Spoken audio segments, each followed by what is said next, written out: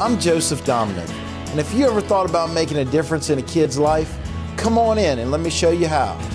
If you have a desire to work with at risk kids or a passion for helping make a difference in the lives of others, this is the job for you.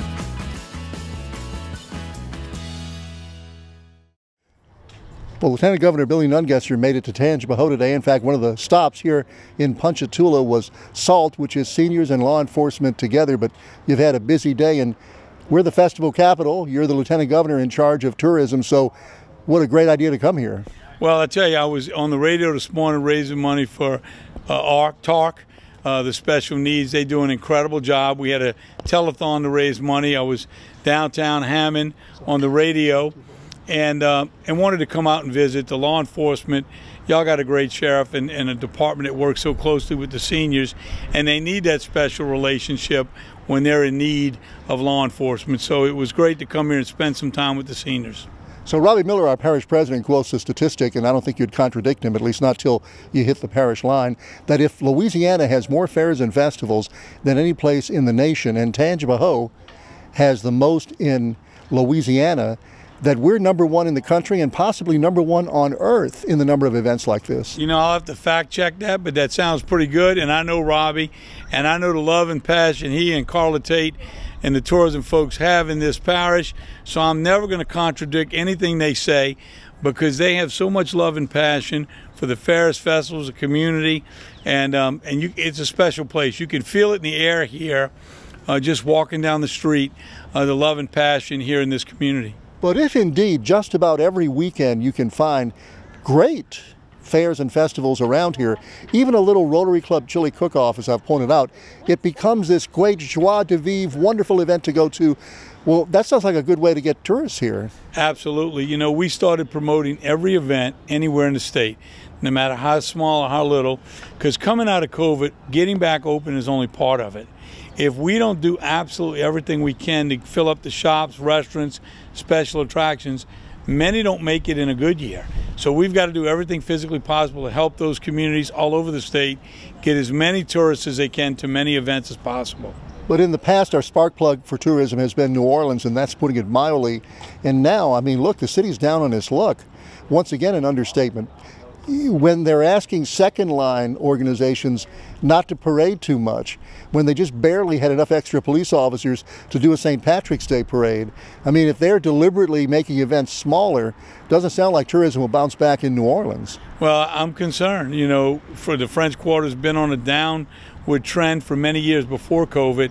Crime, cleanliness, new attractions, and if we don't turn it around, um, it's it's at a part, point now where uh, it's it, people coming here and it's it's hurting us as much as it's helping us. It used to be the draw for tourism, and then you go around the state. But many years ago, when I took office, instead of us partnering with New Orleans for the international market, we hired all the international reps, and they work for the state now. So we direct all the international markets, not just through New Orleans. I was up in Shreveport for a Mardi Gras parade. A group from Germany came in from Dallas to enjoy Mardi Gras in North Louisiana. We promote Mardi Gras all over Louisiana and all the fairs and festivals all over the state. And we see a direct draw to smaller communities all over Louisiana, tourists and travel of interstate staycation from Louisiana as well. You know, when you look at a show like Duck Dynasty, set in North Louisiana, which we deride here in South Louisiana, but then you look at Swamp People, these are attractions. People are fascinated with this stuff out of state. And one of the things we've seen, we know after COVID, people have bought RVs, boats, canoes, fishing in record numbers. We know they're going to see the great outdoors of America. So we've taken all the great outdoor state parks, waterways, bayous, fishing, and really promoted that all over the country, the great outdoors of Louisiana, and it's working. We've had a record breaking year in our state parks, and actually, when I took office, seven parks were slated to close. Not only did they stay open, but we actually have seven parks making money for the first time ever. But we can't get one in Manchac. we'll work on that. How about Bienvenue in Amite, bed and breakfast? Actually, they're in Husser, as locals are aware. Best B and B in the country. I mean, and look, we take these things for granted.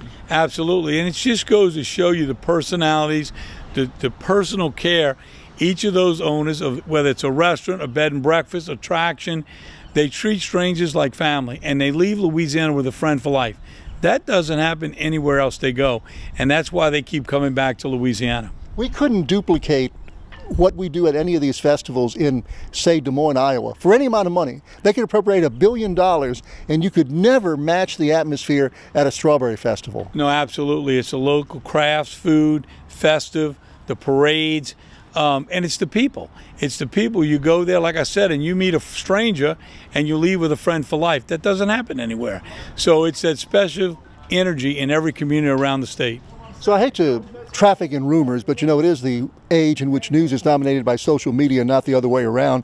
And some people are saying that there's this plan in place that our governor, John Bel Edwards, will get a great job in Washington, D.C. under state law, in fact, the Constitution. You would move up to be the governor if that happens, so they could make you governor early. Uh, yeah, I, have heard the rumors, but uh, everybody says, well, you've got to know if it's true or not. I don't know anything about it. Uh, you'll probably know before me. But, uh, but we're just going to keep doing our job promoting the great state of Louisiana. I'm Joseph Dominic, and if you ever thought about making a difference in a kid's life, come on in and let me show you how. Our children are the future of our communities. However, some of these young people have found themselves entering the juvenile justice system, where they now need help and direction. Here, the dedicated staff at the Florida Parishes Juvenile Detention Center provide that. They are the role models that positively impact young people by providing educational opportunities and social skills training to help eliminate criminal thinking and reduce the likelihood of a youth re entering the system. The goal is to provide each child with a set of skills to become successful members of society. Florida Parish Juvenile Detention Center is a great environment. They really take care of us and it's really great pay. One thing I like about working here is that it's really rewarding and I get to work hands on with the kids. If you're looking for a career in juvenile justice and have a desire to positively impact the lives of young people, the Florida Parishes Juvenile Detention Center offers an unparalleled employment opportunity for you. We have positions as juvenile detention officers, supervisory and management personnel, counselors and social workers, nurses, food service staff, and many more.